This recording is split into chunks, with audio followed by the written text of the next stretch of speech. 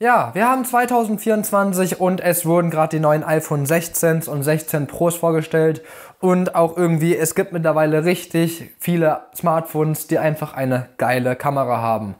Nun, jetzt könnte man sich fragen, soll ich jetzt mir ein neues Smartphone kaufen oder eine neue Kamera? Weil, wenn wir mal ehrlich sind, einer der größten Gründe, warum wir uns ein neues Handy kaufen, ist immer, dass die Kamera besser geworden ist. In diesem Video geht es um genau diese Frage.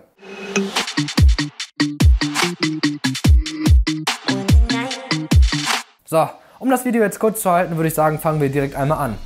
Was sind denn eigentlich die Gründe, wieso man sich ein neues Handy kaufen sollte und das dann als Kamera nutzen sollte? Der offensichtlichste Grund, es ist sowieso immer bei uns. Wir haben das immer in unserer Hosentasche und wir müssen gar nicht mehr irgendwie etwas extra mitnehmen, weil es sowieso immer dabei ist. Hammer! Aber gut, Kompaktheit ist ja jetzt auch wirklich nicht alles, denn es muss ja auch schließlich gute Bilder machen. Und da kann man auch sagen, das macht es auch. Die neuen iPhone 16 Pros oder auch die neuen normalen iPhone 16s machen wirklich grandiose Bilder. Meistens. Bei normalen Situationen, wie zum Beispiel, wenn man einen Freund fotografieren will, ist das Handy perfekt dafür geeignet. Denn man macht einfach den Porträtmodus rein, er hält dann still, guckt in die Kamera und ihr habt ein schönes Bild auch mit Hintergrundunschärfe.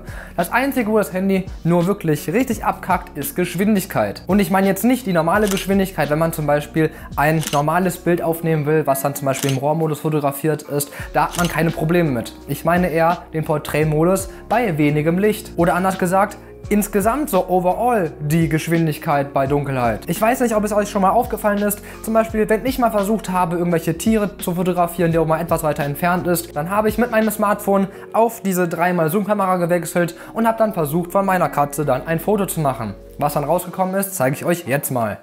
Was ihr hier sehen könnt, ist ein verschwommenes Bild von meinem Kater. So, und jetzt kommt aber dann auch nochmal ein Bild in den Porträtmodus. Das ist jetzt hier im Grunde genommen das gleiche Problem, nur sieht jetzt noch mal schlimmer aus, da nämlich jetzt das Ganze mit der Hintergrundunschärfe wirklich gar nicht so fusioniert. Ja, das sind eigentlich die einzigen Probleme, die so ein Smartphone heutzutage hat. Einfach jetzt in dem Fall von Apple, dass man nicht alles so richtig kontrollieren kann. Und in dem Fall, wenn man es kontrollieren kann, bei einem Google-Smartphone oder bei anderen Smartphones, die halt nun mal diese manuelle Kontrolle haben, halt einfach einen schlechteren Sensor noch verfügbar ist. Selbst wenn er ein Teil groß ist. Es rauscht immer noch wie Hölle und es ist halt noch lange nicht so gut wie eine große Kamera. Also ein Smartphone macht in den meisten Fällen wirklich grandiose Fotos. Es gibt halt nur mal Ausnahmen, wo es dann einfach dann gar nicht klappt. Und jetzt kommen wir zu den Gründen, wieso ihr euch eine Kamera kaufen solltet. Erstens, es sieht einfach vollkommen elegant aus. Ich liebe es mit meiner Kamera zu spielen, mir auch mal neue Objektive zu kaufen und die Bilder, die da rauskommen, sind einfach nur von einer anderen Welt. Was man damit so für Möglichkeiten hat, ist einfach nur faszinierend und ich liebe es einfach nur mit meiner Kamera zu fotografieren. Was man mit einem Smartphone sonst nicht machen würde, sind zum Beispiel Langzeitbelichtungen. Die kriegt man mit Kameras so faszinierend gut hin, dass es einfach nur spektakulär. Gegenargument. So eine Kamera ist doch viel zu groß, um sie mal eben mitzunehmen. Dafür brauche ich dann immer noch eine weitere Tasche, die ich mir dann umhängen muss und es ist immer ein weiterer Aufwand. Ich muss noch weitere Batterien pflegen und all das Ganze ist doch viel zu aufwendig. Lösung? Es gibt auch kleine Kameras, die ihren Zweck vollkommen erfüllen. Dafür habe ich jetzt mal ein paar rausgesucht. Als erstes die Sony A6400, die 24 Megapixel hat, einen wirklich super Autofokus, womit man zum Beispiel auch Menschengesichter super fokussieren kann. Es gibt auch wirklich viele Objektive, die man sich vorne dran schrauben kann, die auch noch einen bezahlbaren Preis haben und es ist eine APS-C-Kamera. Was heißt, der Sensor ist um ein Vielfaches größer als der von so einem Smartphone, wo der Sensor hier reinpassen muss. Bedeutet, geilere Bilder.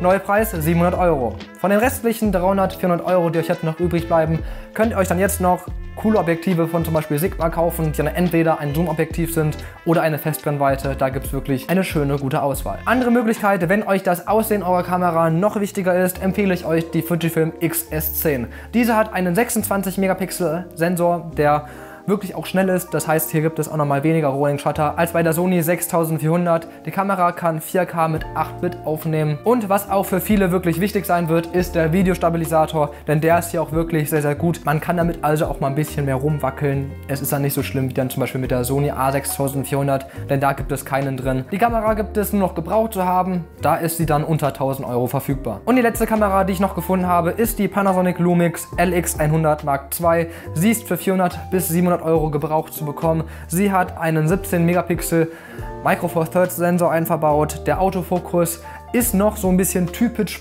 Panasonic, denn im Videobereich pumpt er noch wie Hölle. Das heißt, es kann auch mal sein, dass der auf den Hintergrund springt. Im Fotobereich aber hingegen vollkommen nutzbar. Es gibt auch schon 4K mit 8-Bit-Video und im Gegensatz zu den anderen Kameras, die ich gerade eben gesagt habe, hat diese Kamera schon ein Objektiv mit einverbaut, was sich auch wirklich sehen lassen kann, nämlich ein 24 bis 75 mm mit der Blendenöffnung 1.7 bis 2.8, was perfekt auch mal ist für Nachtaufnahmen mit wenig Licht. Falls ihr euch also weniger Gedanken machen wollt über das Objektiv, ist diese Kamera natürlich auch zu empfehlen. Diese angesprochenen Probleme von gerade eben, die wir gerade bei einem Smartphone gesehen haben, gibt es bei einer Kamera nicht, denn hier kann man die ganzen Einstellungen manuell treffen. Und zweitens, hier ist die Qualität der Bilder auch direkt viel besser. Es heißt zwar, dass die neuen Smartphones alle mindestens über 48 Megapixel haben und sowas alles, aber so richtig stimmt tut das dann auch wieder nicht, denn Vergleiche Vergleiche haben auch schon gezeigt, dass diese 45 oder 48 Megapixel Kameras in Smartphones noch weitem nicht so viele Details bieten wie richtige Kameras mit dieser Auflösung. Ja, jetzt muss man sich entscheiden. Entweder das Smartphone, was du immer dabei hast, was einmalig einen Preis hat von über 1200, wenn nicht sogar 1400 Euro, wenn du das große Smartphone haben willst, für das zum Beispiel iPhone 16 Pro Max oder halt nun mal eine richtige Kamera, die du für auch ungefähr 1000 Euro bekommst und damit dann noch umso geilere Bilder schießen kannst. Also du würdest dir dann in diesem Fall nicht das Pro-Handy von zum Beispiel Apple kaufen, sondern einfach nur dann das normale Smartphone, wie zum Beispiel das normale iPhone 16 oder 15 und dann halt den restlichen Betrag, den du dann nicht für das Handy ausgegeben hast, dann in eine gute Kamera investieren. Diese Entscheidung überlasse ich euch jetzt mal. Ich habe euch genug Beispiele in diesem Video gegeben, um euch das jetzt entscheiden zu lassen.